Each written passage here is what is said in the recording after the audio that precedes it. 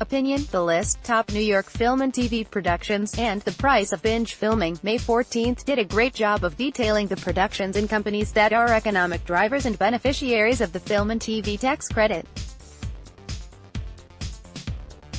The numbers are astounding, billions of dollars spent and hundreds of thousands of jobs created.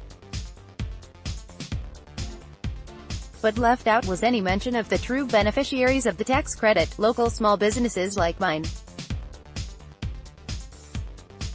The program encourages companies to film projects in New York instead of another state or country.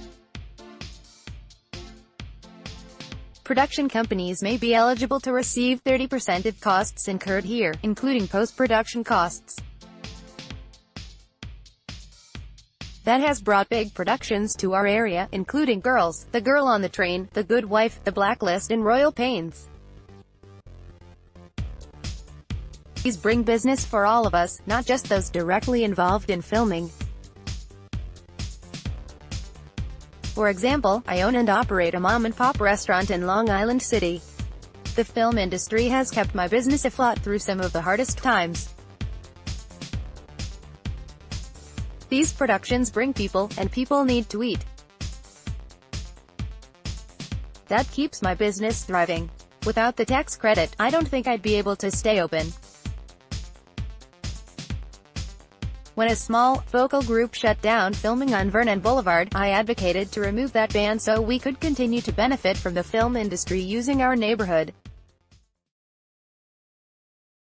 This is important to our livelihood. I urge our governor and legislature, and all candidates running for office, to continue supporting New York's production tax incentive program. Gianna Cherbone Tiola Mandukaitis Rustica Long Island City Get Crain's Daily Alert Sign up for our free daily email newsletter.